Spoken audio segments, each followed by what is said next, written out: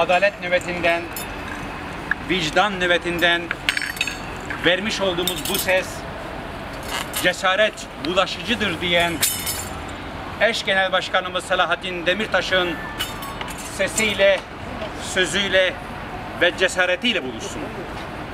Eş genel başkanımız Figen Yüksekdağ'ın milletvekillerimizin cesareti, sesi ve kararlılığıyla buluşsun. Vicdan ve adalet nöbetinden vermiş olduğumuz bu ses Nuriye ve Semih'in yalnız olmadığının ispatı, delaleti olsun. Hakikat arayışı ve hakikat savunucusu olan cezaevinde bulunan Ahmet Şık, İnan Kızılkaya ve kaleminden cezaevinde bulunan tüm gazetecilerin hakikat ışığına ışık katsın.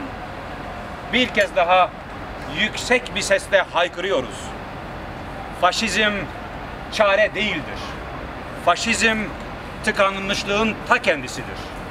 Faşizmden çıkışın yegane bir yolu var. O da cesaretle faşizme hayır demektir.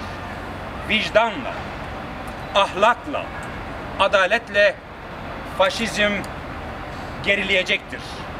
Faşizmin gerilemesiyle birlikte tecrit ortadan kalkacaktır. Tecritin kalkmasıyla birlikte legal demokratik siyasetin önü açılacaktır.